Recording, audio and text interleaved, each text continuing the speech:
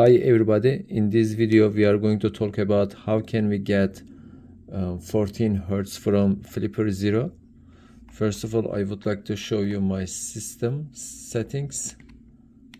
So when I go to the about, as you see this is unleashed firmware.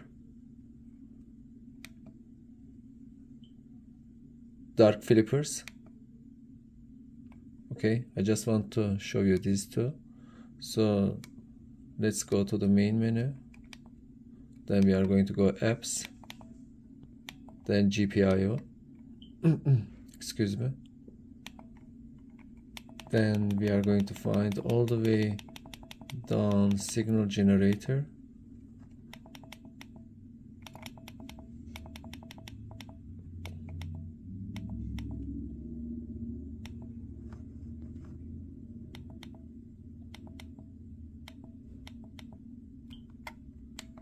here we go. Then we are going to go PWM generator. Okay here is frequency.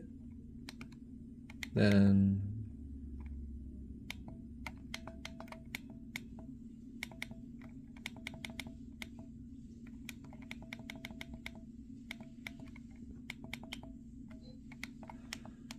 okay your 14 hertz is here okay? As you see